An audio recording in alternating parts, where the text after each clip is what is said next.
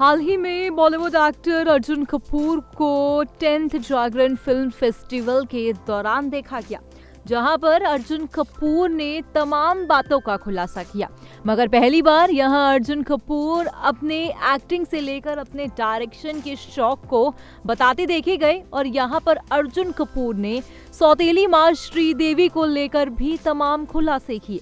आखिरकार क्या कुछ कह रहे हैं अर्जुन? आप देखिए हमारे ये खास वीडियो। मैं फ़िल्में बहुत देखता था। एंड वॉज़ अ फ़िल्म को lock stock and two smoking barrels जो एक इंग्लिश फ़िल्म है जिसकी वजह से मैंने फैसला किया कि मैं एक्टर नहीं मैं uh, मैं डायरेक्टर बनना चाहता हूँ। और कहीं ना कहीं I feel my father's film have had a big influence on me देखिए आप जब बड़े होते हो अनिल कपूर और बोनी कपूर के घर पे तो कहीं ना कहीं you seen certain kind of cinema mister India मेरे घर में बनी है uh, मैंने देखी है बार बार लगातार सैकड़ों बार जैसे कि हर हिंदुस्तानी ने भी देखी है।